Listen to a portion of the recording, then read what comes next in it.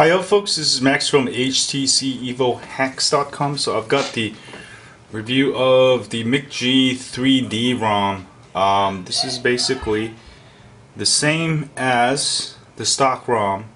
Um, you get all the apps, except you get a broken hotspot app. So let me bring that up real quick and show you that I can connect to my computer. Sprint hotspot. Okay. So you don't actually have to pay for this.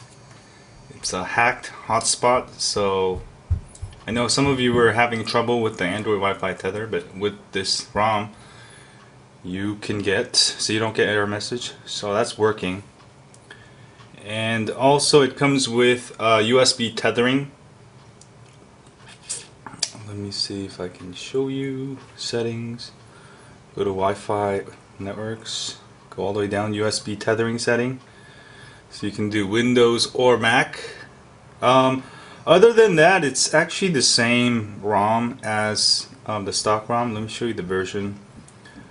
Uh, of course you'll have to have your phone rooted. Um, this is definitely the one to get right now. Um, and also it's 2.3.3 so kernel is 2.6.3.35.10. Um, anyway, it's it's pretty much the same as the stock ROM, uh, but with the hacked uh, hotspot and the USB tethering. Um, so go try it. Let me know what you think, and I'm gonna have a bunch of more ROM reviews, and also I'm gonna try to see if I can overclock this next. Um, so thanks, y'all, and subscribe.